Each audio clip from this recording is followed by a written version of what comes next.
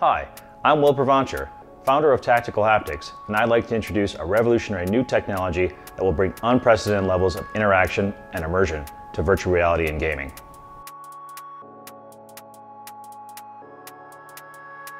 With the success of the Oculus Rift, we've seen the emergence of consumer VR. And with the recent Kickstarter successes of the Virtuix Omni and the STEM tracking system, you can now move naturally in VR. Despite these advances, touch feedback in virtual reality is still limited to buzzing and vibrating. And that's where our technology comes in. I'm a professor of mechanical engineering and have been researching touch feedback interfaces for almost 15 years. We recently developed a way to provide force torque-like feedback in a motion controller that's significantly more engaging than Rumble, but without the cost and complexity of force feedback. We call this technology reactive grip. I've been a part of Dr. Provancher's lab for the last four years, and during this time I've designed and evaluated several haptic devices. Our initial devices provided direction feedback to a user's fingertip, and have since evolved, making more realistic and complex experiences possible. Through device exploration and listening to our users, we recognized our technology's ability to create richer and more immersive game experiences. I remember experiencing the rumble of GoldenEye on the N64 over 15 years ago, and I see that same surprised reaction of people using the reactive grip. Through the reactive grip, I felt the weight of a shield, the kick of a gun, and something as subtle as a fish biting on the line. And I can't wait to see where the community takes us next.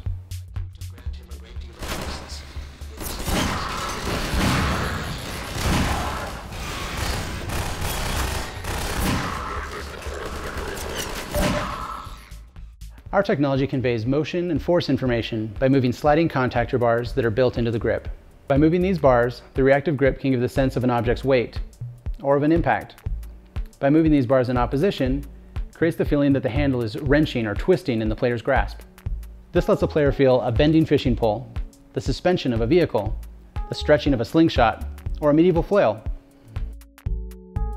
We call it reactive grip because we track a player's hand motions and then react to those motions, providing the feedback that they would expect if they were holding a real gun, sword, or a fishing pole. Our controller will primarily use the STEM tracker from Sixense, but if you have a preferred tracker like the Razer Hydra, we'll make it easy to clip on. We designed the STEM system for innovative developers like Tactical Haptics that are trying to push gaming interaction to the next level. I used the Reactive Grip prototype with our Motion Tech, and I was amazed how it provides real, tangible physics to virtual objects. I just tried out the reactive grip controllers and I think together with the Virtuix Omni and the Sixense STEM trackers, this makes for a complete and immersive virtual reality experience. Of course we're excited about our technology, but we're more excited to see people's reactions to the demos that we gave at GDC. It feels really heavy.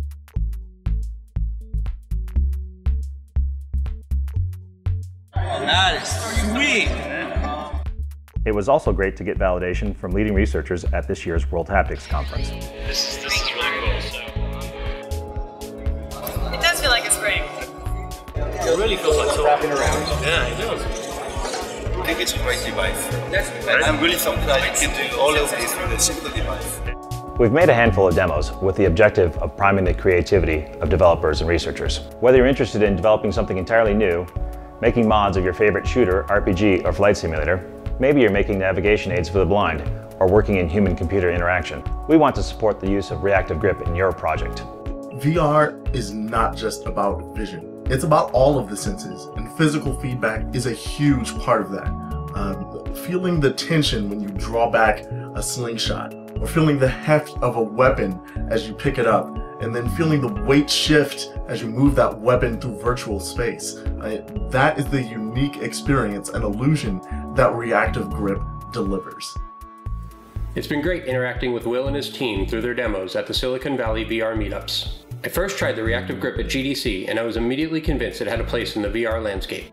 The controller offers compelling touch feedback for many types of interactions and can provide convincing sensations of torque and weight that go well beyond the simple rumble of other controllers. I hope you'll join me in supporting their campaign. The guys at Tactical Haptics have some excellent technology.